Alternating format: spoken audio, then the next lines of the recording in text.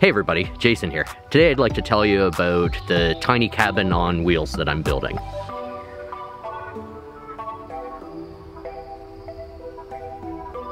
So I started building the tiny cabin about six months ago, last autumn before winter, and it was something that I always wanted to do, not necessarily build something exactly like I've got, but I wanted to try to use my woodworking skills and build some type of small camper. I had this type of project on my mind for a few years, and originally I was thinking about building something like a teardrop trailer. When I started looking at different designs of campers out there, I came across what was known as the Gypsy Camper, and looking at the design, I liked it more than the teardrop because it had closer to full height interior, so you could stand up, and to me it had a better use of space. So the project started about six months ago when I bought an old steel utility trailer. It was four foot by eight feet and you know, it was in decent shape. The metal was good and had really good tires and suspension. The wood was old and worn out, but I was gonna replace all that anyhow. I found the used utility trailer on Kijiji and I paid $500 for it. So the first step of the build was just removing all the old wood and I basically just used a pry bar and hammer and and just yanked it all off.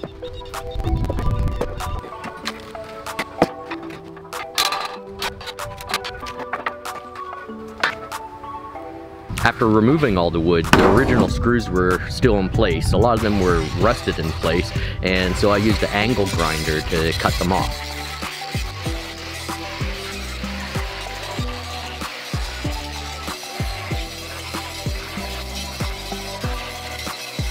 From there, I continued using the angle grinder to remove all the old paint.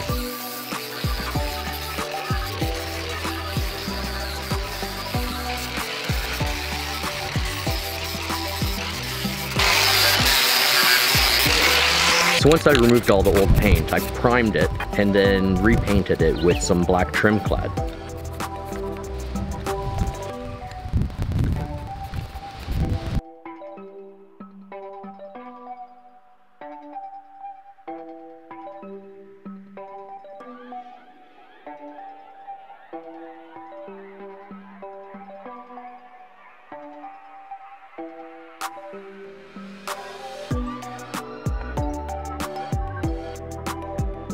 At that point, I think the utility trailer was looking pretty good, almost looked as good as new.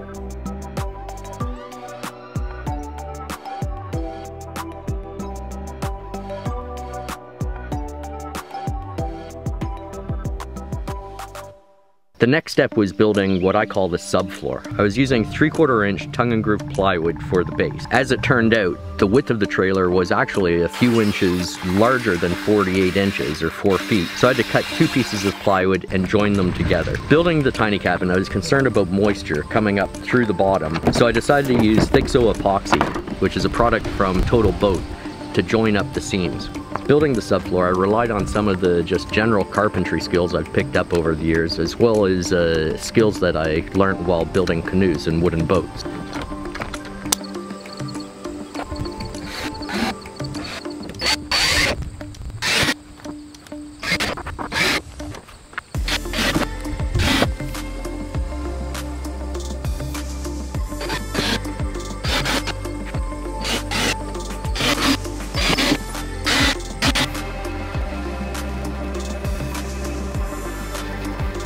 Along the edges, I also use fiberglass cloth and epoxy to join up the edges and just make them much stronger.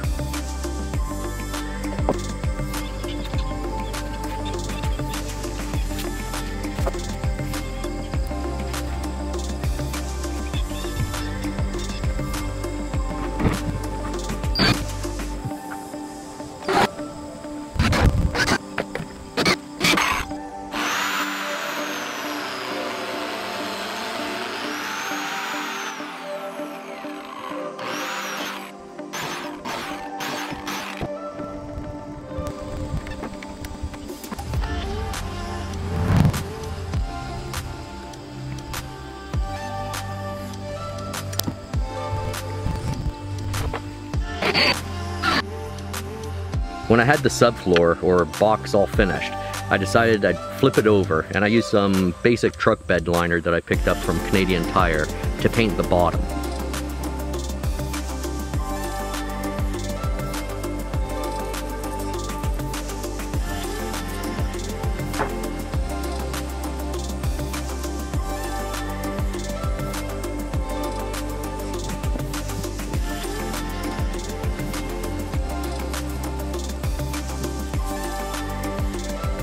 With that done, I took a bit of time just to paint the sides with some primer, just to make sure it's a little bit more waterproof.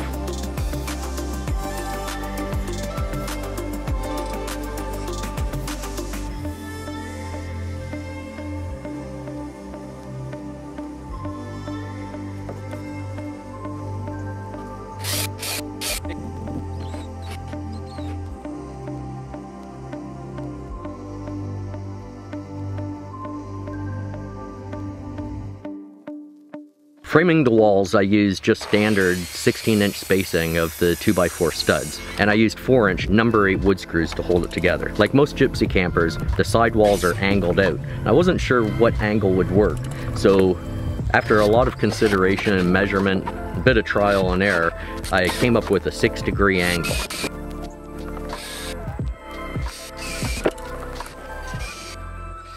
When I built the walls, I clamped them down for a trial run first. Then I fixed them in place with some PL Premium construction adhesive and more wood screws.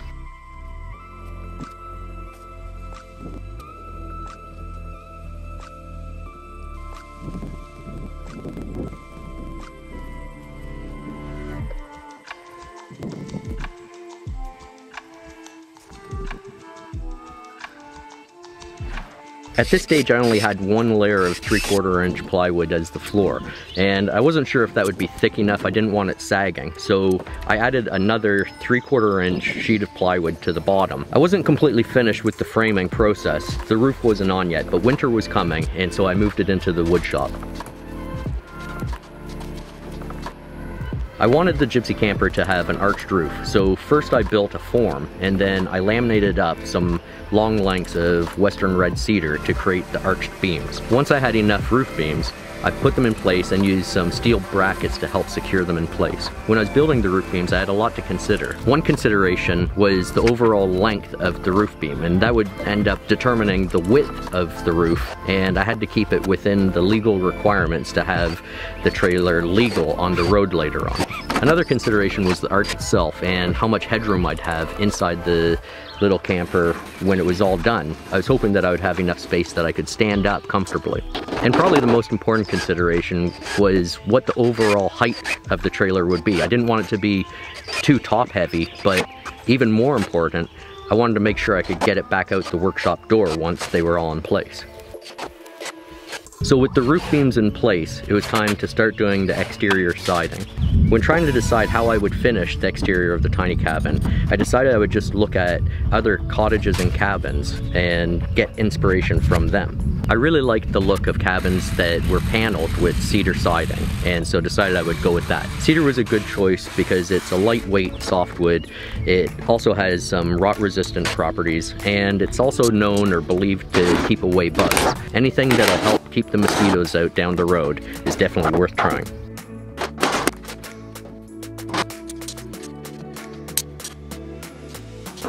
I used tongue and groove cedar siding that I got from an Amish wood mill down the road, and the total cost of doing the exterior walls was about $400.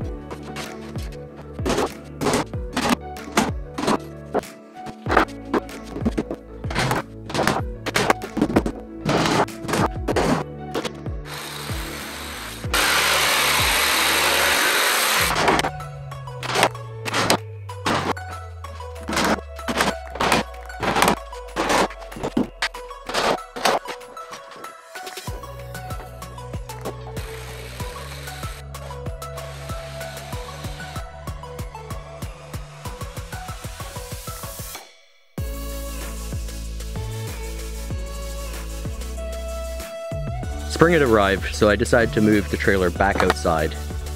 With the natural light and fresh air, I much preferred working out there. I hadn't framed in the back wall yet because I was concerned that I wouldn't be able to easily get materials inside the tiny cabin later on.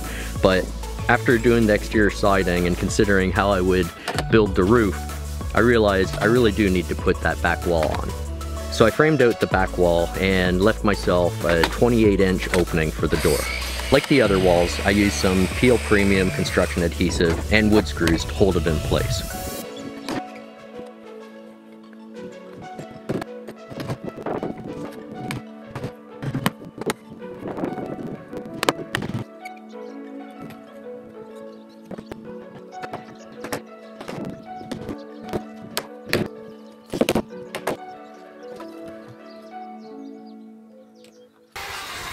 With it back outside and the walls all finished, it was time to panel the roof. I decided to continue using the cedar tongue and groove boards. They worked well for the walls and I thought they would look nice on the inside of the trailer once it was all finished. Working on the roof was fairly tricky. The suspension of the trailer made it quite wobbly and it was pretty tight quarters working between the roof beams. I continued to use the PL Premium Construction Adhesive, but I was really careful when I applied it to not apply too much to the beams.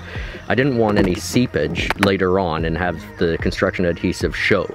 With the paneling on the roof, it was really starting to take shape and I really liked the progress so far.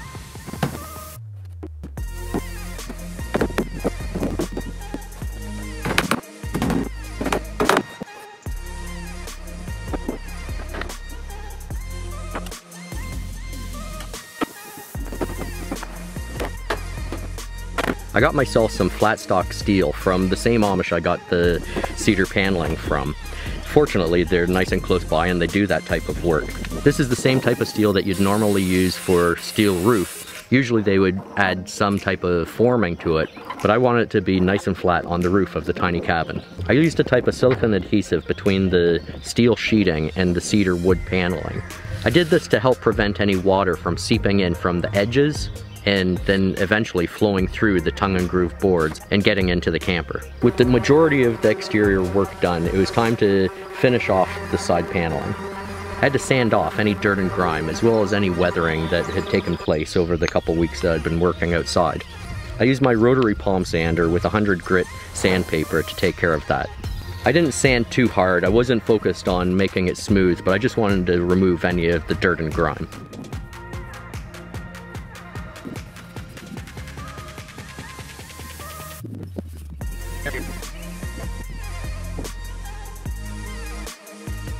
I trimmed out the corners with some Western Red Cedar. I think the contrast and keeping it consistent with the Western Red Cedar roof beams and then trim being Western Red Cedar as well will look nice when it's done. Having built a few cedar strip canoes, I typically use the Eastern Yellow Cedar and the Western Red Cedar for a nice contrast and I think it looks pretty good. With the Western Red Cedar corner trim in place, I did another quick sanding before using some clear coat finish. I used a basic transparent clear coat finish that I picked up from Home Depot. It was Behr brand and an oil-based finish. This stuff had very high viscosity, so I wore some disposable gloves while working. It was basically like painting with cooking oil.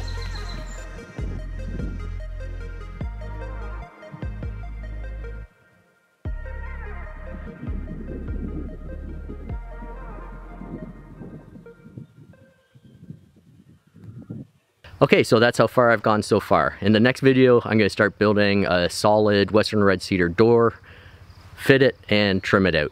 So hopefully you liked the video, and if you haven't already, please subscribe. Okay, thanks for watching.